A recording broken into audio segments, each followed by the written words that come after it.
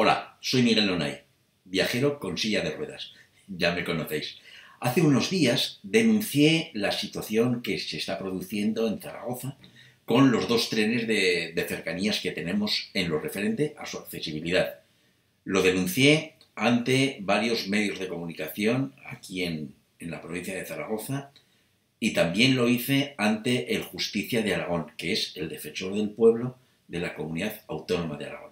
En lo referente a los medios de comunicación, se hicieron eco el periódico Heraldo de Aragón con una carta al director y, como suele ocurrir siempre, con la Corporación Aragonesa de Radio y Televisión, tanto con Aragón Radio, que lo sacaron en los informativos y se hicieron eco durante varios días, y en uno de los espacios eh, más vistos de Aragón Televisión, que es Aragón en abierto. Lo emitieron ayer y ahora os voy a poner el, reportaje de cuatro minutos para que veáis todo lo que sucedió ahí y después os contaré cómo están realmente las cosas. Pero antes, quiero agradecer a Heraldo de Aragón, a Aragón Radio y a Aragón Televisión el interés que se tomaron por este grave problema que nos afecta a muchísimas personas que tenemos movilidad reducida o que vamos en silla de ruedas o con carritos de bebé, etcétera, etcétera.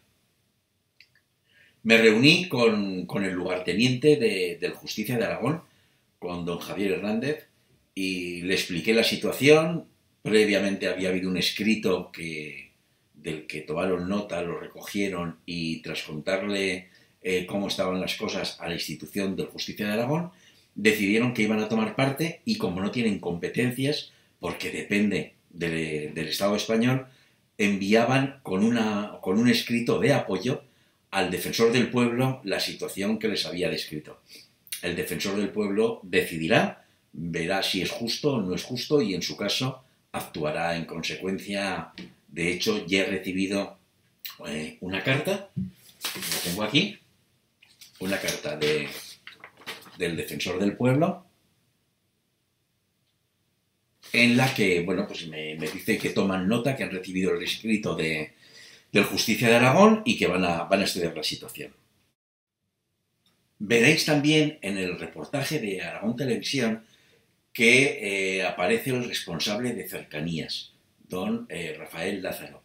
Quiero agradecer eh, que el servicio de cercanías haya dado la cara. Veréis que en, el, que en el reportaje explican cuál es la situación, reconocen que están ocurriendo cosas y también reconocen que no pueden hacer nada. Independientemente de esto, que no soluciona nada, lógicamente, sí que, me gusta cuando la gente da la cara, reconoce lo que está mal y desgraciadamente ellos no tienen la autonomía suficiente como para poderlo solucionar. Así que yo os explicaré después del reportaje eh, cuáles son las posibles soluciones a todo este problema y ahora vamos a ponernos en la piel de Miguel, que va en silla de ruedas, pero tiene la autonomía suficiente como para ir en cualquier transporte público. Normalmente va en tren de cercanías, pero si se produce algún problema y no hay un tren adaptado, puede quedarse literalmente tirado.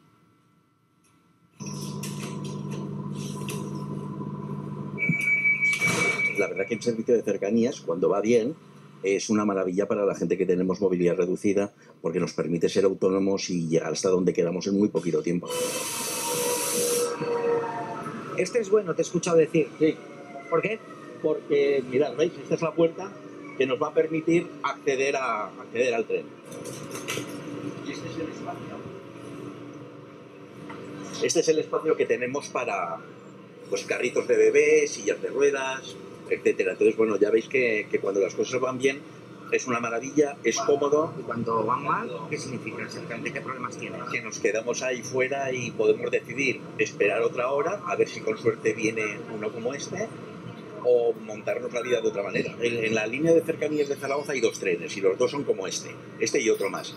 Lo que ocurre es que a veces, o bien porque se estropea o porque deciden mandarlo para otro lado, ponen de sustituto un tren antiguo con, con muchísima altura desde el suelo y ya no nos permite subir. Como no hay personal, no, no podemos acceder.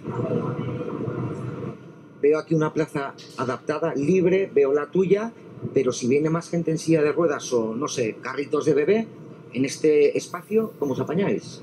El protocolo de Renfe es bueno, está bien señalizado Y la cuestión está que si hay carritos de niño, es más fácil subir un carrito de niño los dos peldaños que hay para, para sentarse en una plaza estándar que subir a una persona que con la silla de ruedas y todo puede pesar fácil 60, 70, 80 kilos.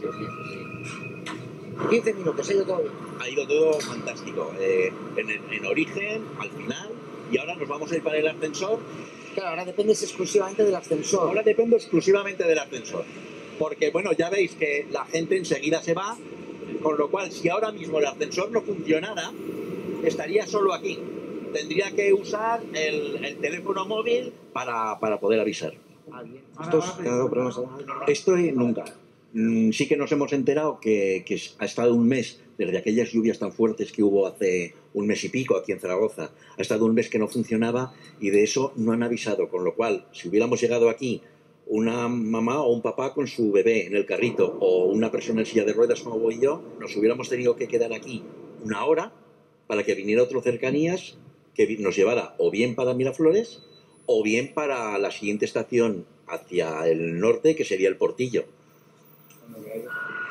Rafael, actualmente, ¿cuántos trenes adaptados y cuántos no adaptados circulan, por ejemplo, en esta ruta? Vamos a ver, el servicio de cercanías está configurado con 42 servicios diarios totalmente adaptados eh, puede haber alguna incidencia porque el parque es un poco limitado. Y otro de los, eh, otra de las cuestiones que tenemos es que el otro 50% de los servicios que hemos puesto para incrementar las frecuencias de cercanías que se hacen a través de los servicios regionales, pues no están en estos momentos adaptados. Están en un proceso que tiene el Ministerio de Adaptación de los Servicios Ferroviarios, pero es un proyecto ya a más largo plazo. Estamos en un tramo de vía única, el túnel no permite circular trenes cada cinco minutos, un servicio en cada sentido, a la hora, adaptado, y en hora punta cada media hora, pues sí que nos provoca estas limitaciones a este tipo de viajeros.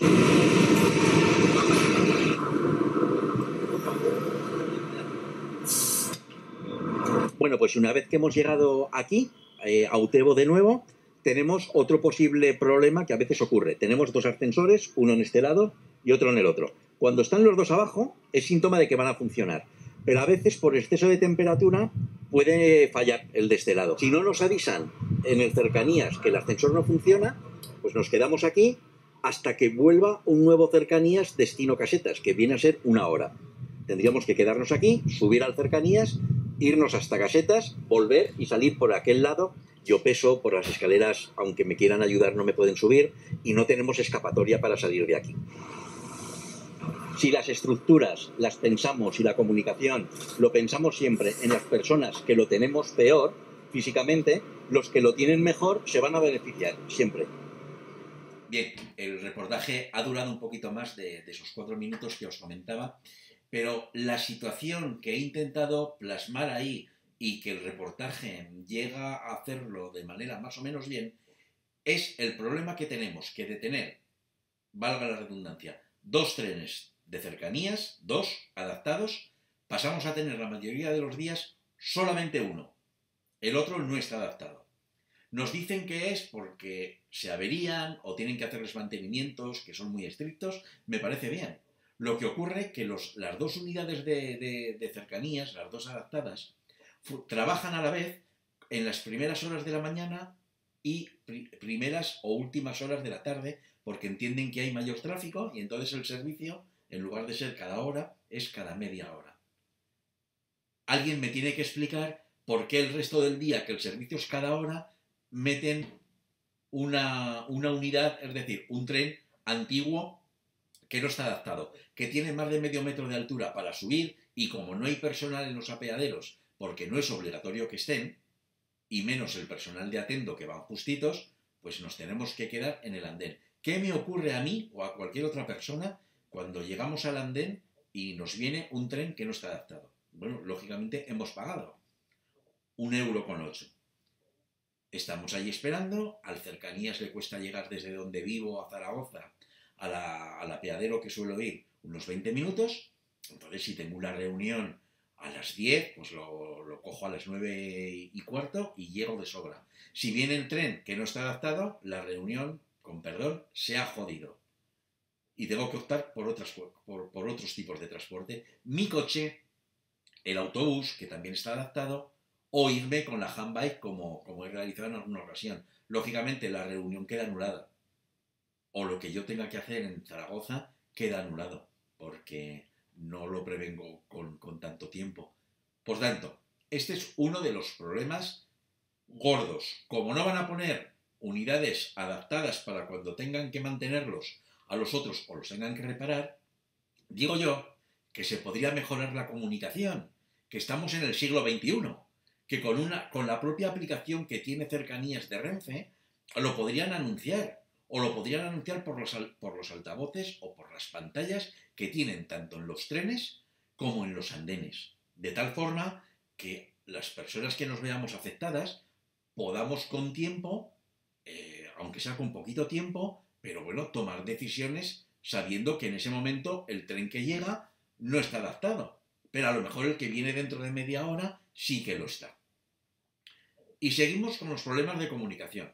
Uno de los ascensores que aparecen, que aparecen en el reportaje, que es el de la Avenida Goya, bueno, ha estado un mes, un mes sin reparar, sin avisarlo, sin decirlo, sin comunicarlo. Yo me enteré por terceras personas. Un día que pude, pude subir al tren de cercanías y me dijeron que si iba a Goya, que tomara la decisión de ir a otro apeadero porque el ascensor estaba estropeado y que llevaba un mes. Oiga, repárese de urgencia y después hagan todos los trámites que tengan que hacer, que probablemente para comerse en un plato de langostinos no tendrán que pedir varios presupuestos. Digo yo. Y ya para terminar, y aprovechando que nadie dice nada y nadie soluciona nada, yo lo estoy intentando arreglar. Pero ya dependo del defensor del pueblo. Y me imagino que no lo escucharán porque las asociaciones relacionadas con la accesibilidad y con el turismo accesible, lo cierto es que a Miguel Nonay no lo quieren demasiado, porque no suelo tener pelos en la lengua, porque digo cosas que me parecen lógicas, y esto no les gusta. Y soy consciente que si hubiera pertenecido a alguna asociación, este problema que está ocurriendo con el servicio de cercanías hubiera tenido más trascendencia. Así que me dirijo directamente a vosotros, sí, a los dirigentes de asociaciones relacionadas con la accesibilidad, con la discapacidad física, con el turismo accesible, dejar un poquito de tomar el sol y mirar a ver si os preocupáis por estas cosas, porque algún día os puede pasar a vosotros. Gracias a todas las amigas y amigos por escucharme y por acompañarme.